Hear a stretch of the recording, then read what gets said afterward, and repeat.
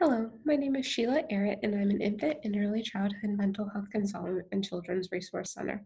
Today, we'll be talking about teaching your kids personal safety boundaries and strategies they can use to protect these, and for you as a parent, ways um, to respond should a child ever come to you and tell you that they've been inappropriately touched. Just a disclaimer before we begin we will be talking about statistics and situations of childhood sexual abuse it's not an easy topic to talk about, but it is one that needs to be shared. We want to teach our children the skills um, so that they can protect themselves should they ever find themselves in a situation that could become abusive.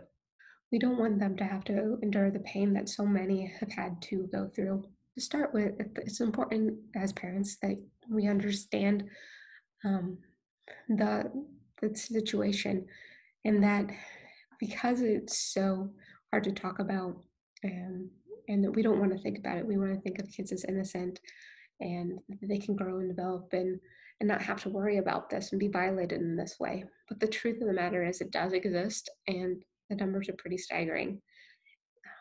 In the united states one in ten children will be sexually abused before the age of 18 that is a high amount. 10% of children will go through this. Um, Girls are more likely than boys to be sexually abused, but boys are not exempt. About one in four girls and one in seven boys, um, it's estimated, experience sexual abuse. And there's a myth out there that it's stranger danger. It's the person that the child doesn't know that they need to be aware of.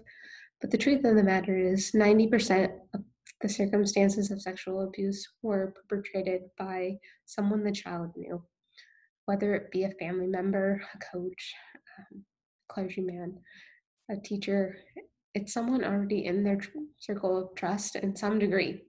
Um, the, the person knows the child. So it's all the more important that they have some skills and they can stand up for themselves and know what is and is not okay. We might um, consider too that it just as adults who perpetrate sexual abuse.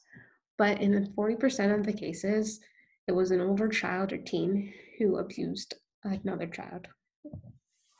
And these are the statistics that we know about. The majority of child sexual abuse goes unreported. And that's for a number of reasons. Children might worry about what will happen if they tell, or if um, anyone will believe them. They might fear that they're going to get in trouble.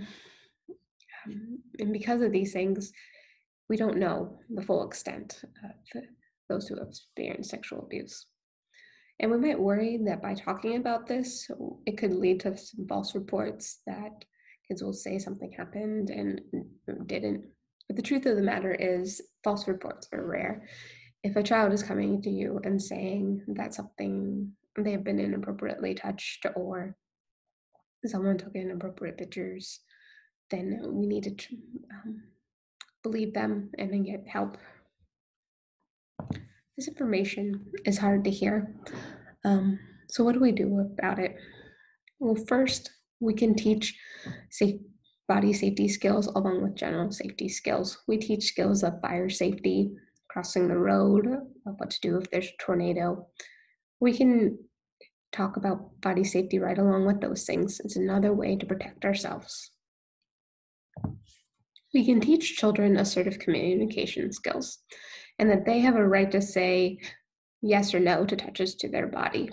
We might worry with this if we tell them they can say no to hugs and kisses, that they might come across rude to family members um, who have no ill intention, that there's nothing to worry about with those family members.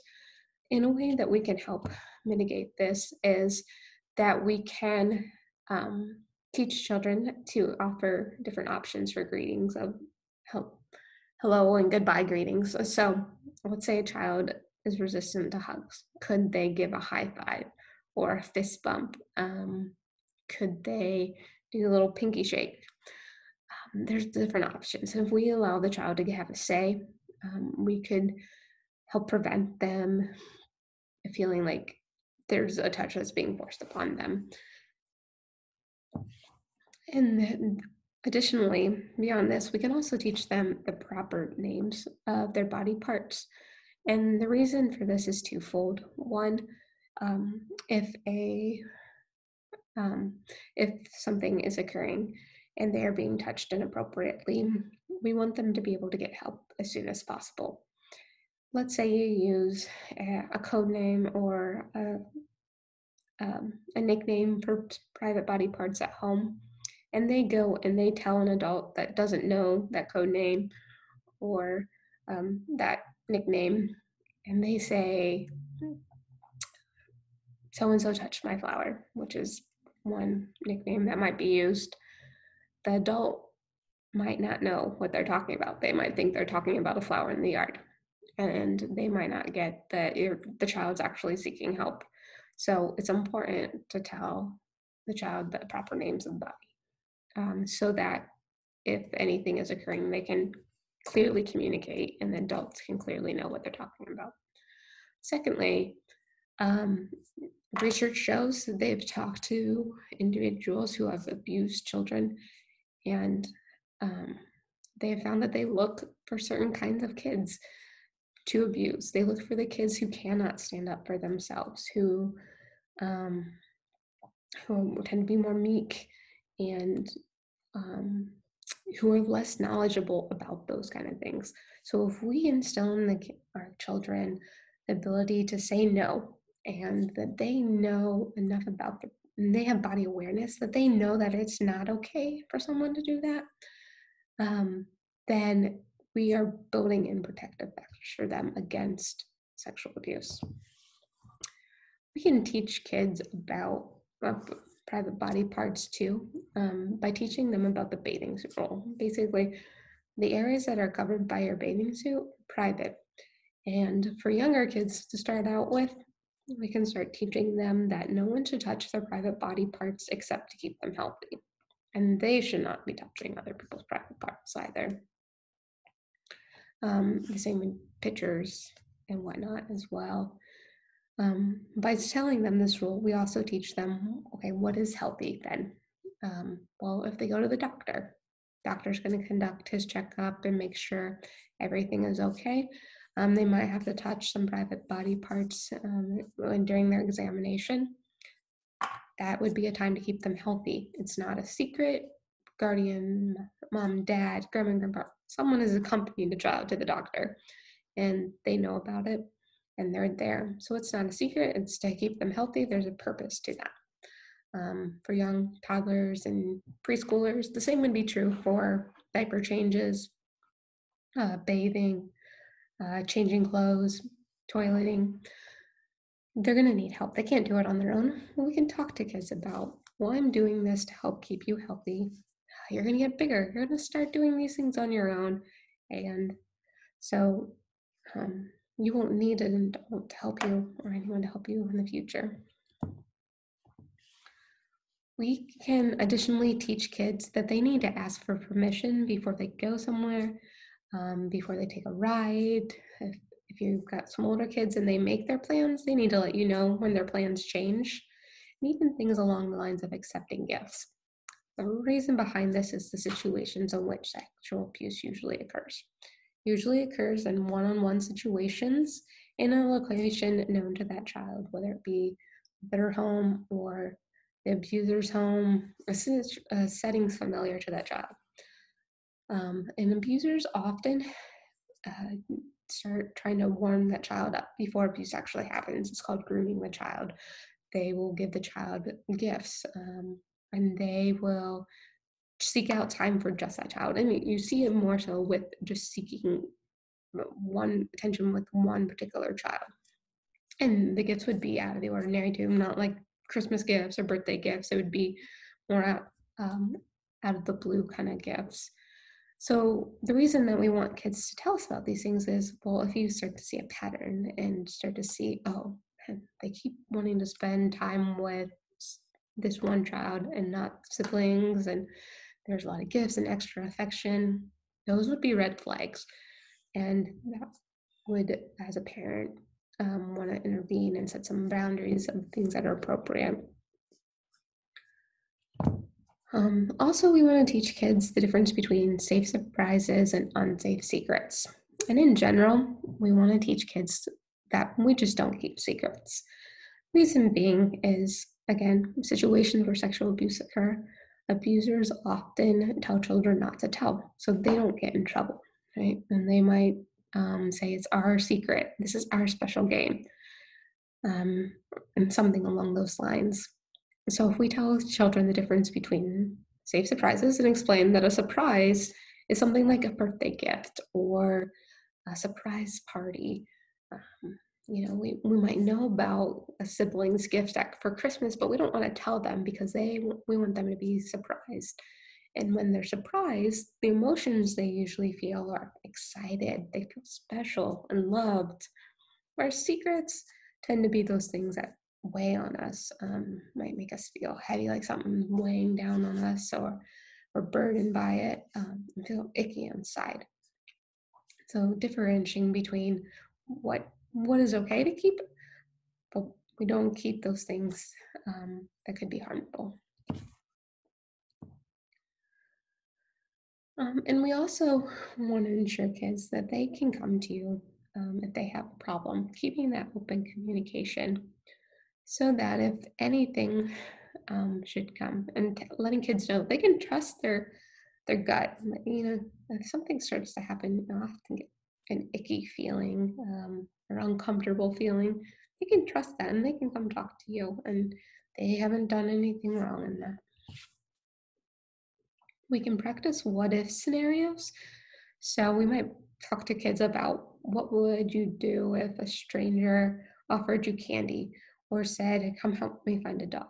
Well, let's do scenarios too about safe touches.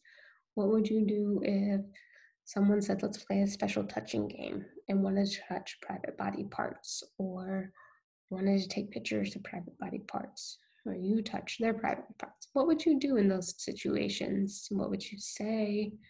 Um, and ever you would want your children to be able to say, I would say no. And if they didn't listen, I would get away if I could and I would go tell you or another adult.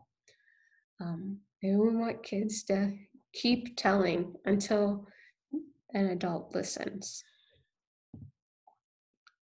Uh, lastly, we want to talk often about this. Um, it's a hard topic to talk about and makes us feel uncomfortable to talk to kids because we don't want to think about it happening. But the more often we talk about it, the more aware they are the easier it gets to talk about. Um, and it becomes like we talk about other safety skills as well. There are many children's stories too that can help um, ease these conversations. Um, some of these just talk about basic assertiveness, like my body belongs to me is a good one to just teach kids that their body um, belongs to them. They can decide what touches they do and do not like, and what to do if somebody's not listening to them. Some secrets should not be kept. That goes into more of um, a little boy, eh, his uh, babysitter has touched him inappropriately. It started out they were just a caring relationship and they would play, and um, but then it leads into him being inappropriately touched, and he, he gets all worried inside about what to do finally he decides to tell his mom and his mom responds and tells him he's so brave and gets help and um, so that the abuser is no longer in his life. There are also some youtube videos that are great to introduce this topic for kids. Um, my body belongs to me is one of the books from the previous slide but it has been converted into an animated short film for children um, about four minutes long. And it, it's it's a great way to start talking to kids about it. You can watch that, that together and discuss it. Additionally, Fight Child Abuse is an agency that has produced Protect Yourself Rules videos. Um, they have six, six different uh, rules that they go over, and including what to do on body safety if anyone would violate your boundaries with body safety after that, um, we also want to talk about internet safety as well. Unfortunately, the internet has provided opportunities uh, for abusers to have access to children they previously wouldn't have had access to.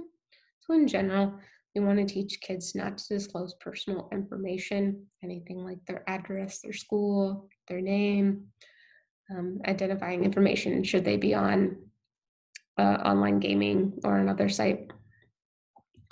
If their camera is on, um, be aware of what's in your background because even if they don't tell um, their name or any of that personal information, if they have something in the back, because you can see my background right here, um, if they would have a school shirt or a poster or award, well, if the school's name's on there, you can simply Google it and find out where somebody is.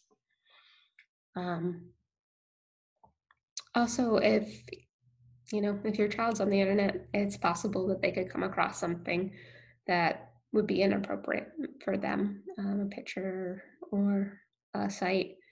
Um, reassure them that they can come talk to you, that it's not their fault, that they're not going to get in trouble, and that way that you as a parent can access that site and get it off the computer. Um, and then, of course, monitoring where your children are going and what things that they're viewing so that it's appropriate and what you feel as a parent is appropriate for their age level. Um, there are many resources for parents for internet safety out there and encourage you to look into some of those blockers as well. So, so next, let's talk about what to do if a child actually comes to you and says that they have been inappropriately touched that can be such a hard thing to hear um, and be devastating to hear. But as much as possible, we want to remain calm. Our children feed off of our emotions and our body language. Um, we want to be present for them in this moment and know that they are getting support. Um, so it's important to first regulate yourself. And if you can't in the moment, say, give me a moment, let's come back and we'll talk about this so that you can calm yourself.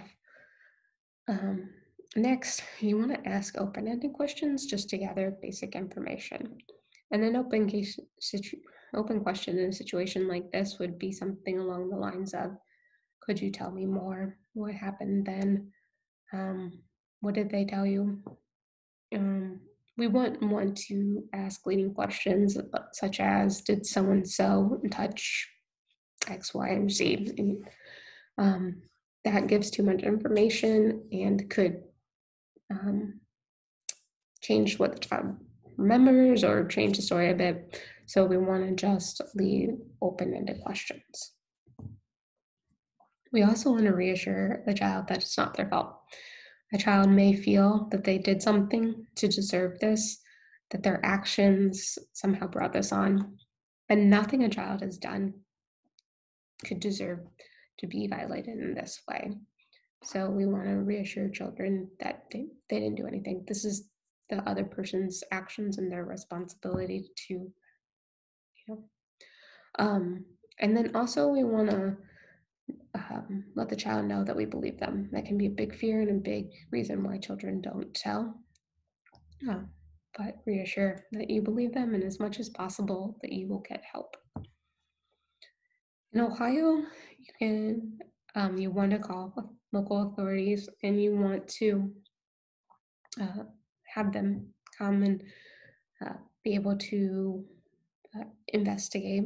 And it's not our job to decide if a situation happened or didn't and what all the details are. We want the general so we can tell them what happened, who was involved, and whatnot.